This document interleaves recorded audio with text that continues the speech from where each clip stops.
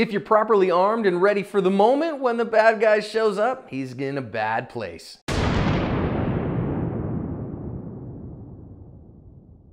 Hi everybody, welcome to today's lesson here at Active Self Protection. I'm your host, John Correia. Today's video comes to us from Brazil. PHLSTER is one of my trusted holster makers with great offerings like the floodlight and trauma medical equipment to keep you and your loved ones safe. They're one of the few companies that I trust to make a quality product at a good price, and I thank them for sponsoring today's video. So we can see these guys just chilling while two dudes on a moto ride by, and you guys know what that means if you've been a fan of active self-protection for a while, so they're just chilling and waiting, but you notice there are two guys on a moto as well, because they have two helmets and one bike there.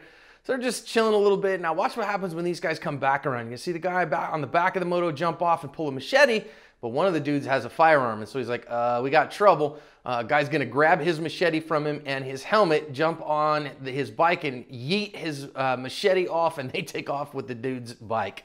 So one more time, he jumps out with the machete. Guy points a gun at him, and they're like, uh, "We lose that fight." So he gives up the machete, and they run off and give the guys their bike. So it's a reversed bike jacking, and that's where this one ends. Hey, calling all firearms instructors. If you want to get better as an instructor, think about joining the Active Self Protection Instructor Certification. We already assume you can shoot. We teach people to be better teachers. It's a real niche in the industry that I don't think is very well established or very well taught. So if you want more information, look at the link in the description and think about putting in an application to join us. So I do think that uh, these are, are culturally conditioned ideas, friends, that we make sure that we understand that we understand our pre-attack indicators.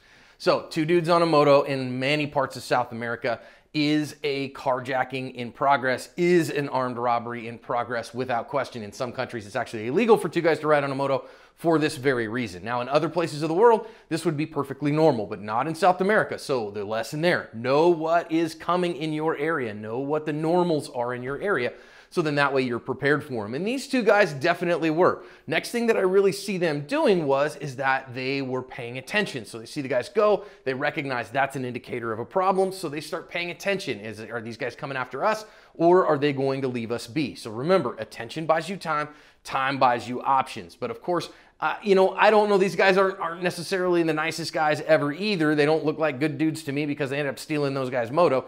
So again, recognize that uh, good being a good, sane, sober, moral person means you probably want to get the heck out of the danger zone. You saw that, you'd be like, hey man, let's get the heck out of here, rather than stick around and wait for them to rob you so that you can rob them back, right? So that's what a good, sane, sober, moral, prudent person would do. But now let's think about from the protection perspective, they come around and I wanna see this is the spot right here where our dude who's gonna draw his gun gets his gun out. So he is paying attention to them, sees them come back, and this is the spot from which he is going to draw his firearm. When we talk about being a self-defender and having a rapid draw of your firearm, this is the reason that we do. Because the more quickly when you make the decision, I need to get a gun out, the more quickly you can get that gun out, the more time you have for decision making, the more time you have to get ahead of the bad guy. So when you have a two second draw to first shot, you can't do things that you can do if you have a one second draw to first shot. So now he gets the gun out and his time there was about 1.5 seconds. So because he had that 1.5 seconds, the guy didn't have the time to get off the moto, get his machete all the way out, and close the distance to him, which he might have been another half of a second or so. So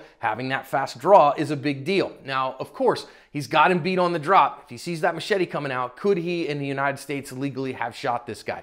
Yeah, probably. I mean, again, knowing that he, what he knows, the guy's pulling a machete on me, I fired at him, okay, fine. But I think a better thing here is that he had a little bit of time in order to give commands. And he did so in this instance. And because he did so, he ended up not having to shoot somebody. And that's a better outcome, plain and simple. Even from a, a you know purely personal perspective, you're going to have much less problems with cops for stopping a guy by pointing a gun at him than by actually pressing the trigger. Also notice that the gunman stayed at distance while his buddy went and disarmed the guy. I think that's a good point as well, that if you have a distance tool like a firearm, you want to stay at a little bit of distance so that he can't reach out and grab a hold of that gun.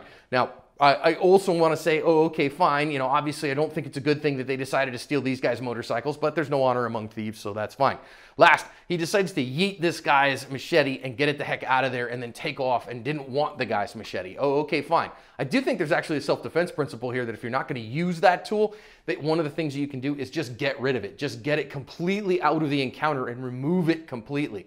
So that would be with a firearm or something like that. You know, you uh, uh, drop the magazine jack around out and toss the gun so then that way it is out of the fight if you're not going to use it. In this case, with his machete, he just, you know, throws it to the side or whatever. So I'm not saying there were good people here, but I do think that there are still good self-defense lessons that we can learn as we seek to cover our asp.